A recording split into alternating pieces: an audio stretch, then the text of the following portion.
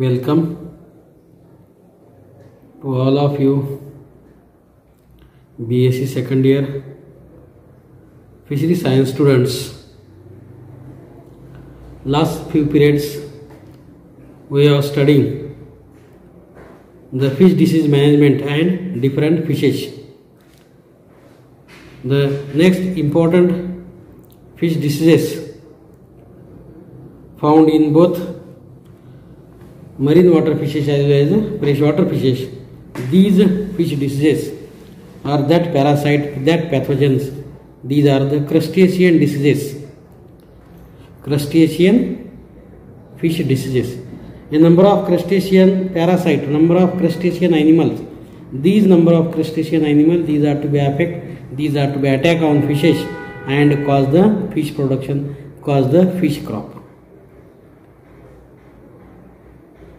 Hence, we have study, we have need to understand their structure, symptoms, and treatment of these crustacean diseases to minimize our risk, to minimize our pathological conditions of diseases occur in culture condition in culture areas or the culture parts.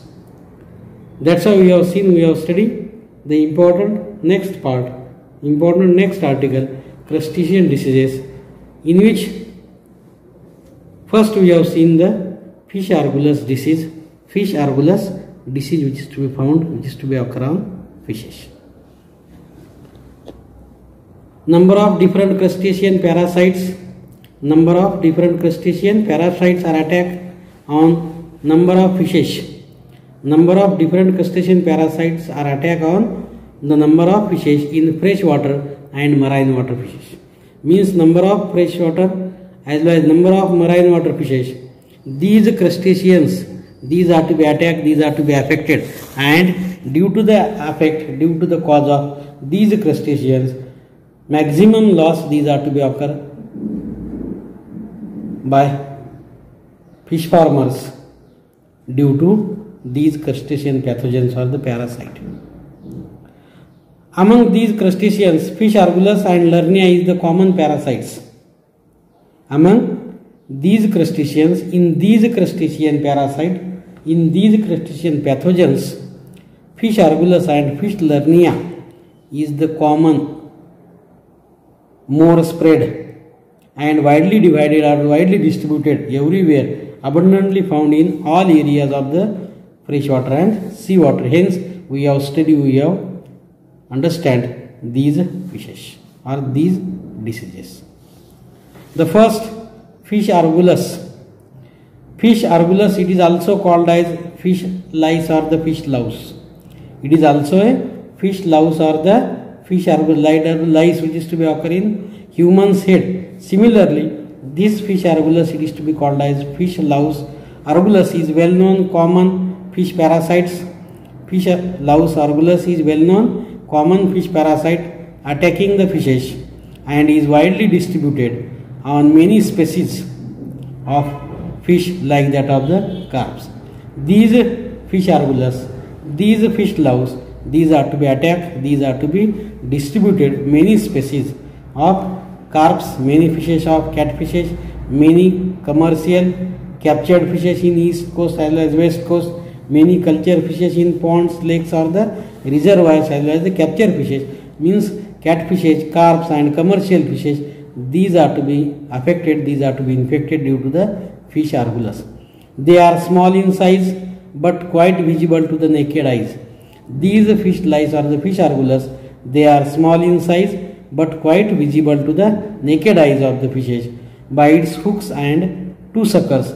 With the help of hooks and suckers, we can identify, we can recognize by its hooks and two suckers and sucks blood with the help of its piercing organ like that of the mosquito. Similar to that of the mosquito these pathogens these parasites these are to be forms hooks and suckers. And with the help of sucker first they can introduce the sucker inside the parasite's body and then they can suck the blood like that of the mosquito. They can piercing the with piercing organs they can piercing the blood of the host and ultimately host can be die host can be dead. They may also attach themselves they may also attach themselves at various other sites at various other site these fishes these are to be attaches these fishes these are to be attached. Not only the single place but these are to be attaches various sites like the skin like the fin mouth or other different places other different part these fishes these are to be attached these are to be attacked. Either these are to be attacked in the skin these are to be attacked in the fin these are to be attacked to the mouth or these are to be attacked to the caudal fin or the various types of fins and then they can grow they, they can suck the blood. See the figure. How the fish is to be infected infected fish these are to be seen in first figure. See this is the infected fish. These are the fish argulus these are the fish argulus this fish argulus the first this fish argulus these are to be affected on the gill area. This fish lies these are to be affected on the caudal fin base of the caudal fin area. Whereas this fish argulus these are to be affected on the that is skin part. Means these are to be affected sometimes these lies these argulus these are to be affected on mouth also. Means these are to be affected on fins these are to be affected on skin affected on gills affected on operculum affected affected on the mouth. And this is the affected pathogens. This is the affected pathogens. That is the with these are the pointed this is the pointed part. These are the pointed areas these are to be seen these are to be found. See this is the pointed areas. This is the pointed areas. This with this suckers piercing hooks these are to present. With this these are to be enter inside the host body and suck the blood materials or suck the blood. These are the eyes these are the eyes and these are the legs and these are the two parts. We with the help of these two parts hanging outside the body we can identify whether the fish is to be affected by fish louse or the that is the fish argulus which is to be seen which is to be uh, seen in the figure. That is fish louse these are to be affected. Fish louse these are to be affect on the different fishes. Again figure shows parasite of fish argulus see the exact three dimensional figure which is to be seen in the insert. This figure this indicate that this is the figure this is the head louse or the fish argulus this fish argulus with the help of these piercing hooks they can enter their mouth they can enter their head mouth inside the host body host skin fins or the mouth and then they can suck the blood with this.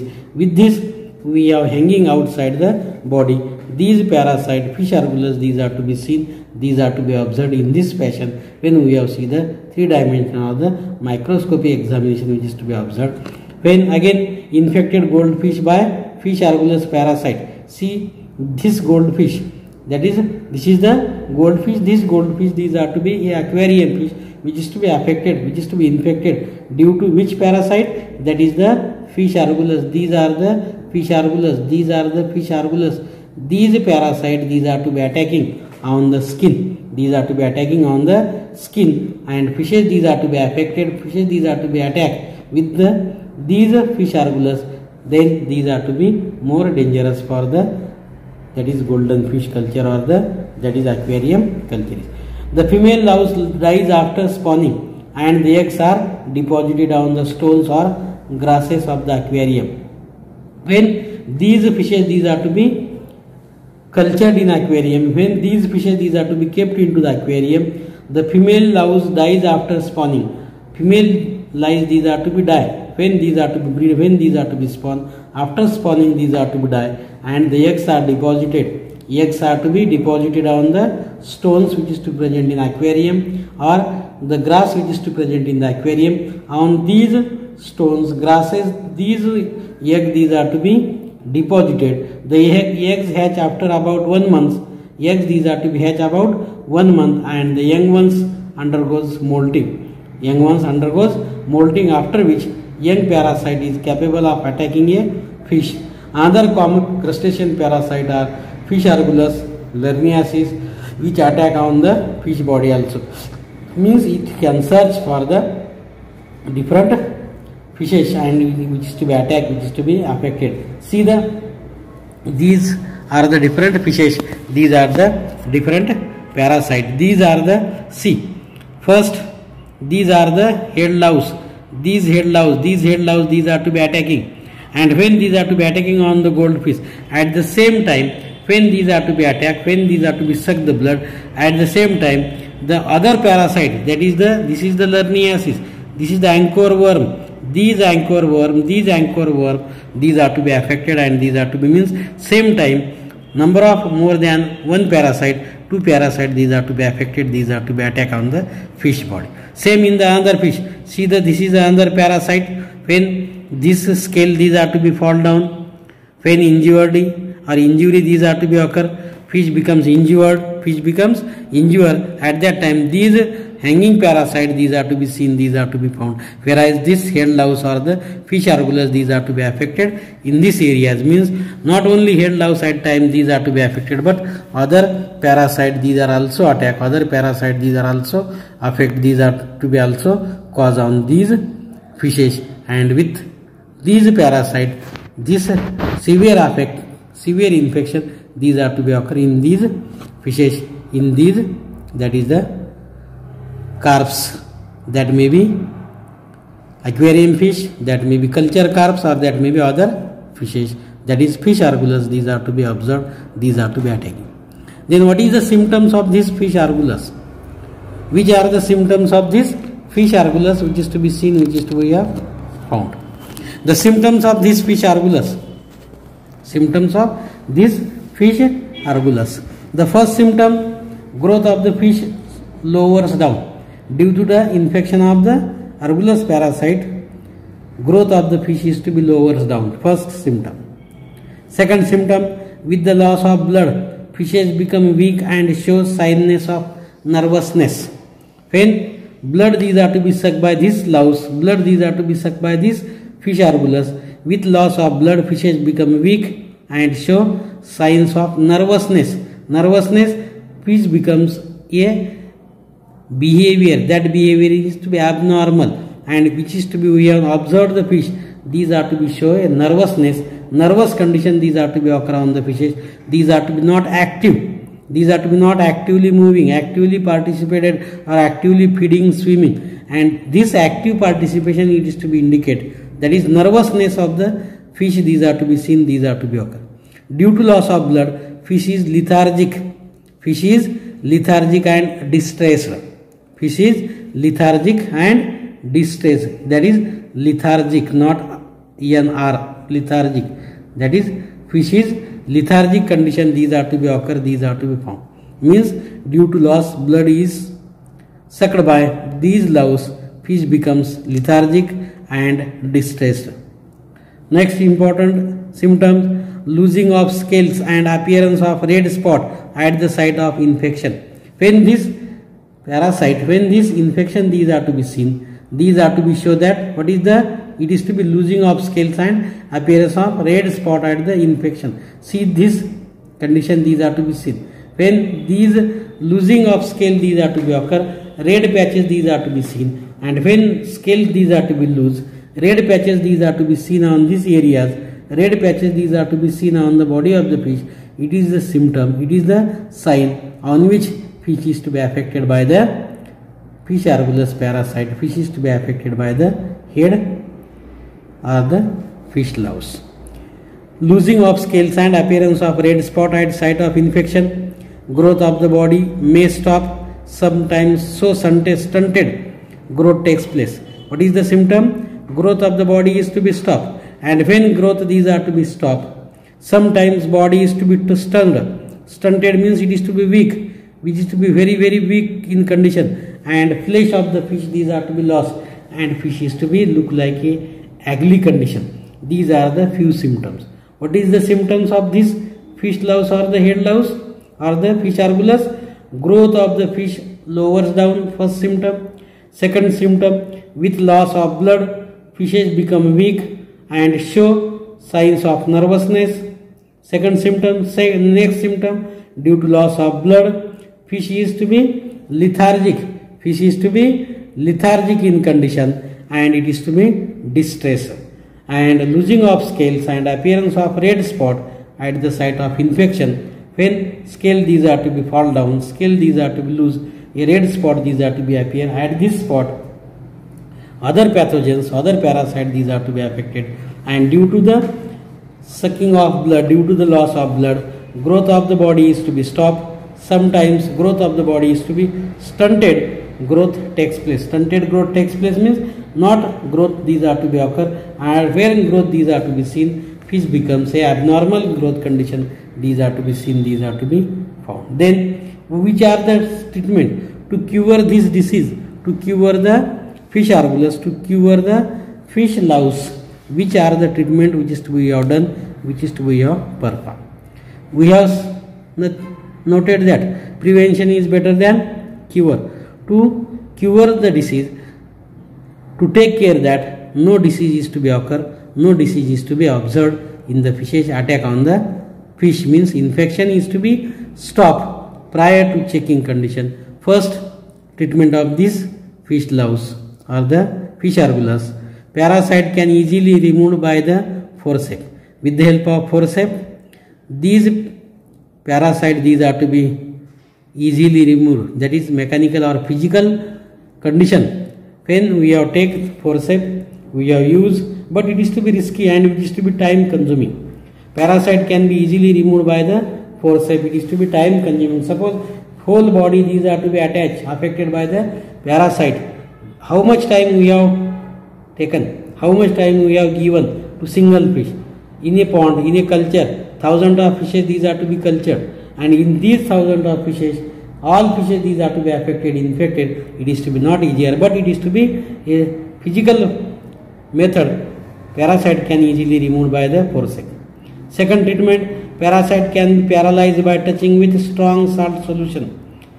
These parasite can be paralyzed. Parasite can be paralyzed by touching the strong salt solution and then removed.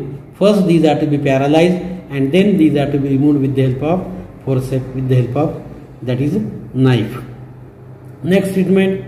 Treatment can be made by putting the infected fishes in 3 to 5 percent salt bath those fishes these are to be affected. Those fishes these are to be infected by fish argulus such infected fishes these are to be collect and these infected fishes these are to be deep treatment. These are to be putting into the infected fishes in 3 to 5 percent salt solution that is 3 to 5 percent salt bath in or it is to be kept in 250 ppm of formalin solution for one hour. Either we can use choose 3 to 5 percent salt solution or instead of salt solution we can use 250 ppm of formalin solution. Up to one hour period up to one hour time these infected fishes these are to be deep treatment deep bathing into these either formalin solution or either salt solution up to one year. It is to be recommended to remove the parasite to remove the these fish argulus another treatment deep the infected fishes in weak solution of potassium permanganate. When those fishes these are to be infected those fishes these are to be affected by head louse or the by fish argulus such infected fishes these are to be captured. Such infected fishes these are to be collected from catching fishes.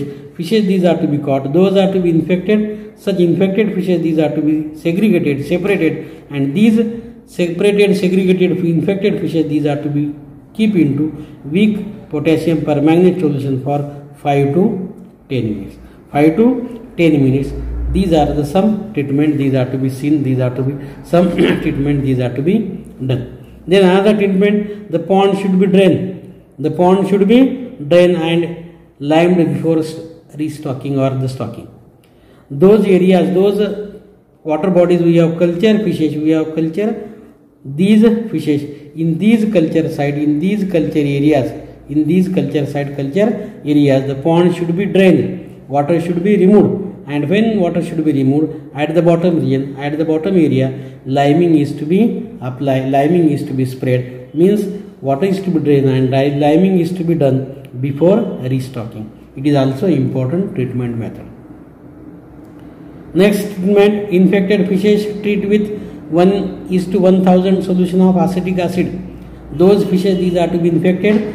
These infected fishes these are to be treated infected fishes these are to be treated with 1 is to 1000 solution of acetic acid for 5 minutes. For 5 minutes these fishes these are to be treated these fishes these are to be keep treatment or deep bathing into acetic acid for 5 minutes. Sometimes vertical wooden or bamboo poles are fixed inside the water. Sometimes occasionally in those water in those culture site culture areas we have culture fishes. In these culture areas in these culture sites or the culture water bodies sometimes vertical wooden bamboo poles or the wooden poles or the bamboo or wooden sticks. These are to be fixed these are to be tied. Why these are to be sticks these are to be tied? When these are to be tied bamboo poles or the wooden poles in a vertical position in such a way that those fishes these are to be affected those fishes these are to be infected by parasite head louse or any other parasite. Fish may be rub their bodies. Fish may be rub their bodies around the different parts that is fish may rub the fins fish may rub the skin and when they rub their bodies around the poles around the wooden logs wooden poles these parasites these are to be get rid of or these are to be fall down. These are to be fall down these are to be rid of. Because all these parasites these are the ectoparasite. Ectoparasite those parasites these are to be attacking those parasites which is to be affecting on the external part of the body. External part of the fish. That may be fin that may be operculum that may be mouth that may be skin or any part of the external part of the fish. The parasite these are to be affected, that are to be attacked. That parasite these are to be called as ectoparasite. This parasite is to be ectoparasite. Hence when fish these are to be rub their body when fish these are to be rub their body to the dikes to the wooden poles or the bamboo poles some parasite these are to be fall down it is also a better way. It is also a better method to control to minimize the fish argulus or the head louse. With this we have control. With this we have minimized fish argulus the disease crustacean disease which is to be affected in culture ponds culture sites that may be pond culture or the fishes these are to be cultured in west coast and east coast. Those fishes these are to be cultured those crustacean parasites these are to be affected. Crustacean pathogens these are to be affected. These crustacean pathogen just we have minimized we have lower. With this we have lowering the risk of culture and we can increase the fish production. And fish production these are to be increased which is to be best for fish culturists or the culturists of the culture farmers or the culturists. With this we have completed the first crustacean disease. Fish argulus or the fish louse. Thank you